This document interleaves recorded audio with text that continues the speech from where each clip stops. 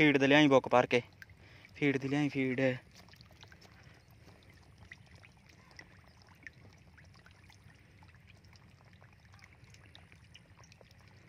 Feed ਲਿਆ।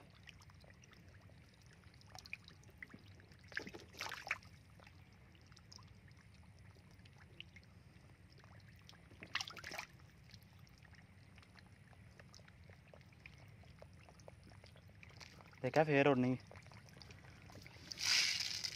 ਚੱਲ ਬੜੀ ਹੈ ਠੀਕ ਹੈ